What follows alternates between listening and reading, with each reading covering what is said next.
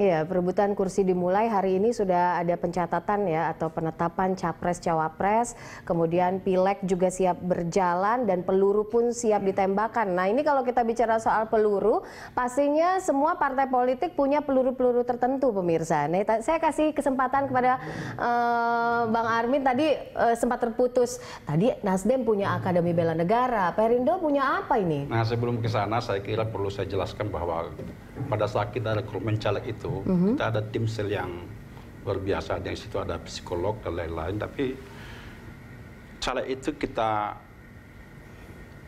tanya sampai pemahaman dia teritorial, mm. pemahaman dia tentang wilayah daerah pemilihan dia. Mm -hmm. Kemudian jaringan-jaringan yang dia dimiliki mm -hmm. selain uh, kualitas dan isi tas yang dimiliki. Jadi ada tes uh, knowledge-nya, kemudian ada, ada tes edukasinya. Ada. Hanya dengan tes dan edukasi dan oh, knowledge itu Tapi saja selain, cukup? selain kualitas yang dimilikinya, kita juga tanya kemampuan dia untuk turun ke lapangan. Hmm. Karena partai itu tidak membiayai caleg, karena hmm. partai itu hanya memberikan dorongan misalnya melalui iklan, dorongan melalui saksi, dorongan hmm. melalui bendera T dan lain-lain. Tidak adakah sebuah uh, vokasi khusus begitu yang diterapkan oleh Perindo untuk menetapkan caleg-caleg ini begitu untuk memberikan edukasi yang lebih lebih dalam lagi seperti misalnya Nasdem. Oh, kalau Perindo ada, hmm. bahkan nomenklatur Perindo itu saya kira satu-satunya ada di Indonesia hmm. yang tidak ada rata-rata ketua bidang organisasi kader dan keanggotaan itu hmm. di partai semua partai yang ada. Hmm. Tapi di Perindo beda.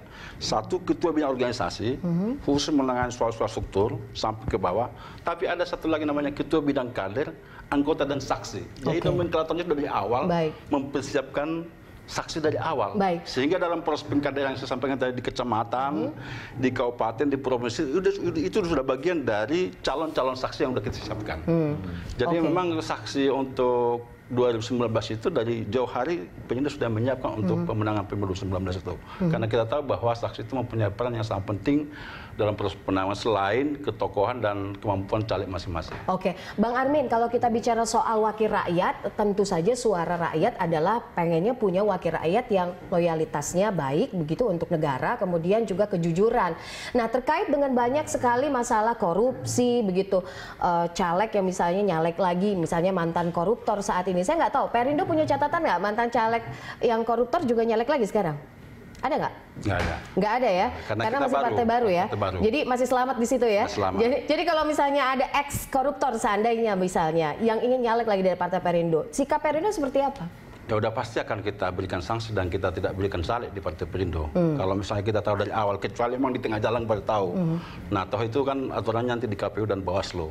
Hmm. Tapi ketegasan Partai Perindo terhadap caleg yang mantan korupsi, ya udah pasti kita tolak di hmm. Partai Perindo. Intinya fak, uh, siap untuk menandatangani fakta integritas oh, siap, juga ya di siap. KPU ya, bahwa dan itu akan juga, menolak itu. Dan itu juga makna kehadiran Partai Perindo seperti baru tanpa mengurangi rasa hormat kita hmm. terhadap kawan-kawan kita yang sudah di DPR RI Alasannya atau kenapa, di Bang? berbagai partai. Hmm maka perlu ada partai baru memberikan wajah baru, pemikiran baru hmm. dan langkah-langkah baru hmm. dan gerakan baru hmm. sehingga menolak, sehingga DPR hmm. itu bisa diwarnai oleh orang-orang baru tapi tidak sekedar baru, hmm. tapi mempunyai apa namanya disiplin yang punya karakter. Hmm. Maka di perkadaan kita itu selain pemahaman kualitas ada namanya kepribadian. Jadi setiap perkadaan itu ada namanya namanya materi kepribadian. Hak konstitusionalnya gimana? Dilanggar nggak? Merasa dilanggar nggak dengan tidak uh, tidak dinaikkan menjadi caleg misalnya? Oh itu masing-masing kalau hmm. kita, ini kan aturan. Tapi kita. itu sikap politik, sikap politik dari Perindo ya. Oke, saya tambah ya. Oke, okay, Ini penting soalnya ini. Kalau Nasdem terlepas dari norma hukum positif membolehkan ya. caleg mantan napi tiga kejahatan, mm -hmm. ya uh, uh, korupsi, narkotika, obat terlarang, psikotropika, ya, mm -hmm. uh, dan uh, apa namanya? Kejahatan seksual terhadap anak, terlepas hukum positifnya membolehkan, mm -hmm. kami menempatkan norma moral di atas itu. Mm -hmm. Nah, kami sudah menandatangani fakta integritas mm -hmm. dengan tidak membolehkan itu dan seluruh Ini caleg Nasdem, ya, Bang Joni ya. Seluruh caleg Nasdem itu tidak boleh. Mm -hmm. Nah, bagi yang sudah jadi anggota DPR terlibat kasus tiga kasus itu nggak tawar-tawar itu dipecat itu. Dipecat ya? Ya dan sudah dilakukan. Itu sikap Ada. tegas dari sikap Nasdem tegas. ya bahwa menolak. Lalu terkait dengan calon anggota legislatif mm -hmm. hari ini sudah menjadi DCT ya. Okay. Begitu kami mengetahui masih tersisa ada ya langsung diberhentikan. Mm. Saat ini 20 ribu lebih 20 ribu 300 sekian caleg Nasdem itu seluruhnya bersih dari tiga tindak pidana itu. Mm-hmm. Dan ini tanpa kompromi. Sudah capek-capek kami me, me, me, apa namanya secara konsisten uh, kedepankan politik tanpa mahar. Mm-hmm. Sudah capek-capek kami kedepankan gerakan perubahan khususnya politik tanpa syarat. Mm-hmm. Ya konsisten dalam sikap politik ya.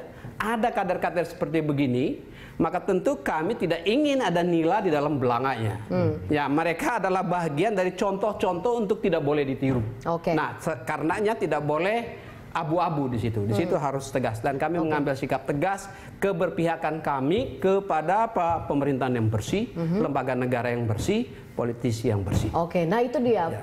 sesuatu yang sudah dikeluarkan dari hmm. Partai Nasdem juga Perindo telak-telak menolak bahwa uh, ex koruptor nggak bisa naik lagi. Bung Abbas, mungkinkah caleg ex koruptor ini bisa melenggang lagi? Ini ada nggak yang mau pilih kalau uh, dari Bung Abbas sendiri? Saya kira kalau tanya mungkin ya masih mungkin. Hmm. Um, kalau mereka sudah diberi kesempatan untuk lolos, bukan mustahil mereka sudah punya uh, konstituen di daerah pemilihannya masing-masing. Nah, tantangannya kepada partai politiknya, apakah partai politik akan membiarkan uh, orang yang punya problem secara moral ini untuk dipilih oleh warga? Itu saya kira kembali ke partai politik. Ya. Nah, karena kalau ditanya pada uh, kandidatnya, kita tahu persis dalam pilkada kemarin beberapa tersangka yang sudah ditahan di KPK mm-hmm. itu masih mendapatkan suara tinggi di uh, dalam pemilu pilkadanya. Mm-hmm. Eh, kita tahulah di beberapa kasus salah yeah. satunya di, uh, di di NTT calon gubernur misalnya mm. sudah ditahan gitu, mm. tapi masih dapat perolehan suara kedua yeah. dalam di, di pemilihan gubernur. Jadi kalau partai politik itu meloloskan calon-calon seperti itu untuk mas, maju di dalam uh, di dalam pemilu legislatif bukan mustahil mereka akan dipilih lagi oleh uh, akan dipilih oleh oleh warganya. Mm -mm.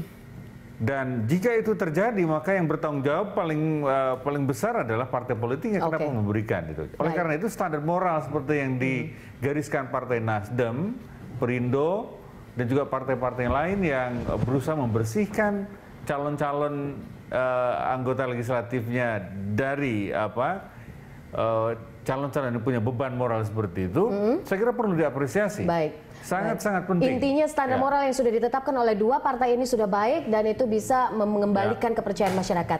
Itu saya kira. Baik, baik. Saya cuma punya satu menit lagi, eh, Bung uh, Bang Joni, mungkin closing statement dari anda ini yang membedakan gitu. Ketika uh, singkat saja, ketika misalnya uh, wakil rakyat itu dipilih, apa yang membedakan Nasdem dengan partai lainnya? Singkat saja. Ya, Nasdem itu membawa gerakan perubahan restorasi Indonesia yang baik. adalah koreksi terhadap pelaku pelaksanaan politik dan sikap politik politik kekurangan-kekurangan yang terjadi di reformasi. Oke. Okay. Dan lahir kami untuk memperbaiki pelaksanaan politik oleh reformasi yang masih banyak kekurangan. Baik. Partai Perindo. Kalau Perindo itu kembali pada untuk menegakkan tujuan dari Undang-Undang 45 yaitu negara yang bersatu, berdaulat adil dan makmur.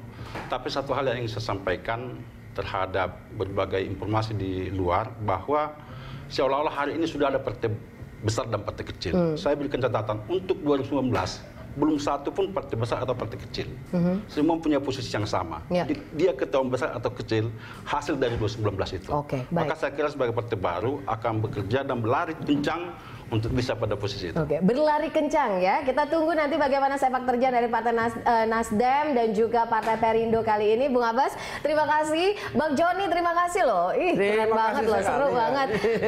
Bang Armin juga makasih ya. Pemirsa, demikianlah Prime Time Talk kali ini. Anda bisa mengirimkan informasi dan saran pada kami melalui email di redaksi @berita1.tv atau follow kami via Twitter, Facebook, YouTube, dan juga Instagram. Atas nama seluruh kerabat kerja yang bertugas, saya Popi Zedra mau undur diri. Terima kasih, sampai jumpa. Gracias.